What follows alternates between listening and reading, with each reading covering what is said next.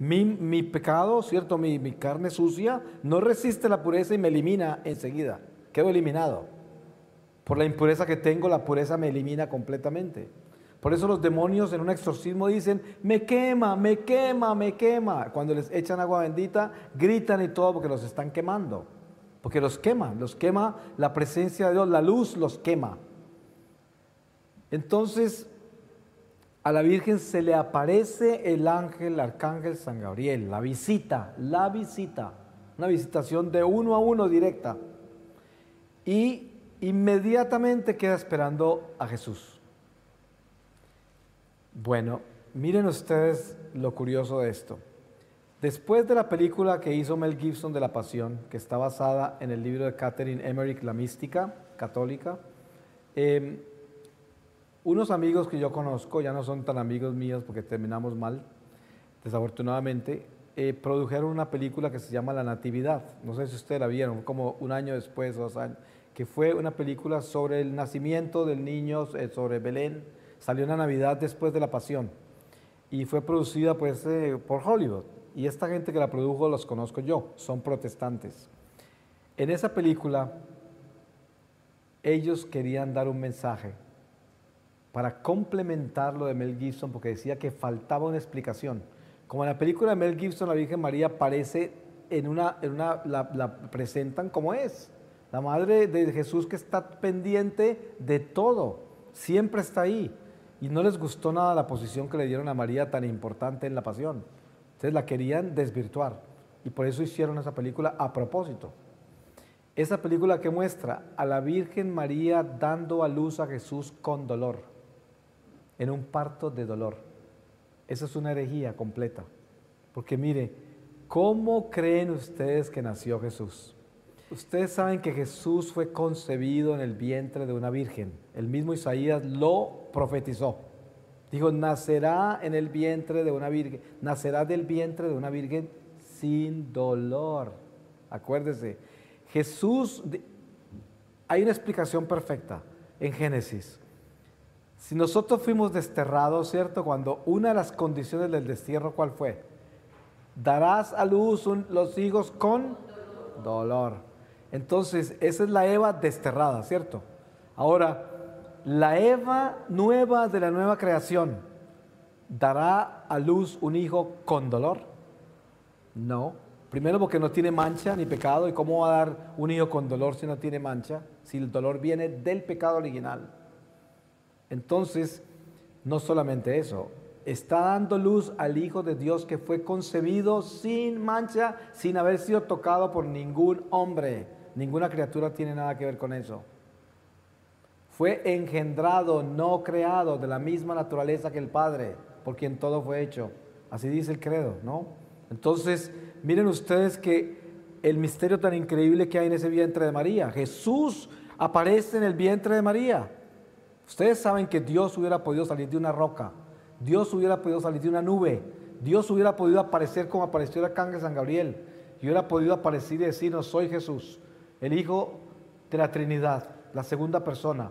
Voy a quedarme entre ustedes 300 años para enseñarles a ser santos, para que entren al cielo, porque les voy a abrir la puerta del cielo otra vez. Lo hubiera podido hacer perfectamente. Pero Dios no hizo eso. Dios reconstruyó la obra original y volvió a hacer a Eva. La volvió a hacer de nuevo. ¿Ustedes saben cómo se hizo Eva? Eva se hizo por el ayuno de Eva. ¿Y cuál fue el ayuno de Eva? Eva fue puesta en silencio y esclavitud al hombre por siglos y siglos y siglos. Y todo ese sacrificio y todos esos años de pena produjeron la nueva Eva, trajeron la Virgen. La Virgen fue el sacrificio y todo lo que sucedió en la humanidad con la mujer desterrada que no tenía derecho a hablar, no tenía ningún derecho absoluto hasta que llegó Jesús. La mujer nunca tuvo derechos hasta que llegó el Señor. El Señor fue el primero que le dio los derechos a la mujer. Está hablando con la samaritana, todos se escandalizan. se sienta con una prostituta, la sana, le resucita primero a la mujer que más demonios le sacó. Y todo es con la mujer así. Le dio una posición a la mujer como nadie. Las mujeres de Jerusalén fueron las que estuvieron al pie de la cruz del Señor, las únicas fieles, y el otro era un adolescente que era San Juan que estaba prendido de las manos de María. Pero todas las mujeres fueron la fidelidad al Señor, porque ellas fueron rescatadas por el Señor y el Señor les dio la voz otra vez, les devolvió la fuerza y las volvió a dejar en la posición en que estaban originalmente. Pero por María, por la Virgen María, se rescató el silencio de Eva y Eva terminó el ayuno. O sea que ese ayuno de Eva de tantos siglos construyó a la nueva Eva, a la Eva de la nueva creación en Jesucristo. Y viene esta pureza de esta María, que esta María es la preparada por Dios para recibir al santo de los santos, a Jesús. Cuando Jesús nace, nace por obra sobrenatural, no en un parto de dolor. No nace en un parto de dolor. No puede nacer en un parto de dolor, sería una contradicción total porque entonces la Virgen no sería virgen. Y si, si dice el mismo profeta Isaías, dice, nace de una virgen, sería una contradicción, ¿cierto? Entonces, si Jesús nace de una virgen, ¿cómo hace para nacer de una virgen? No puede tocarla. La carne de ella no puede ser rota, no puede ser tocada, no puede haber una apertura, no puede haber un parto de dolor, nada de eso puede haber, porque tampoco fue tocada para la concepción, porque Jesús fue engendrado, no creado. Por esa razón, no hay creación en el vientre de María, sino engendrado por obra del Espíritu Santo. Y como es engendrado por obra del Espíritu Santo, no puede salir y dar a luz en una forma de creado. Porque si saliera con dolor sería porque fue creado. Es la diferencia. Entonces encontremos este misterio para que nadie nos vaya a robar eso. Que nos demos cuenta de lo importante que es entender el misterio de la Virgen María. ¿Qué sucede entonces con María?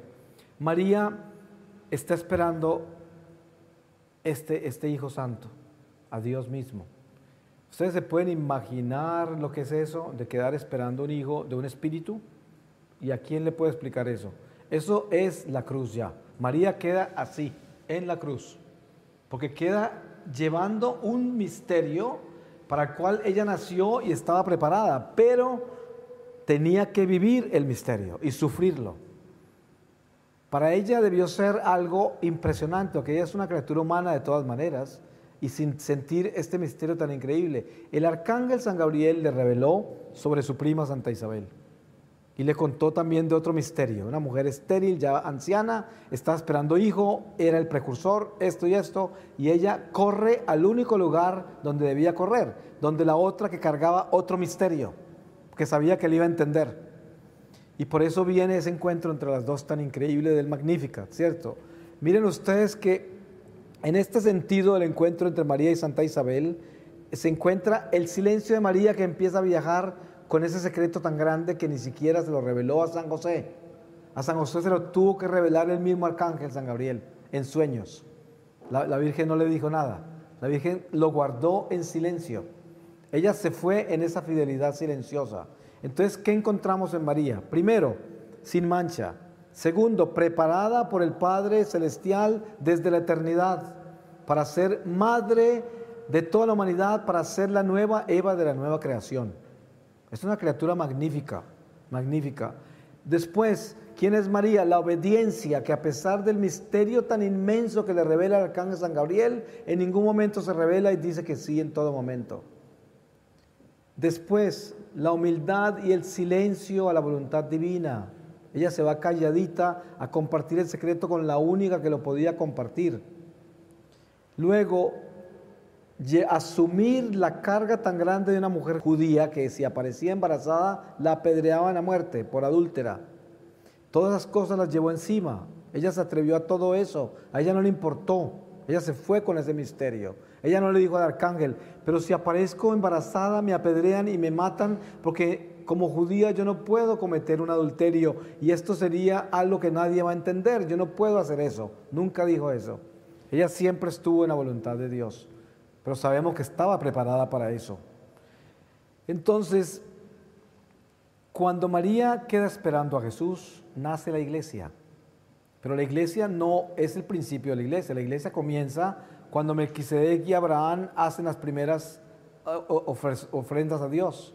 Ese es el principio de la iglesia, el principio de la liturgia. Es entre Abraham y Melquisedec, entre ellos dos. Y Melquisedec está ofreciendo pan y vino.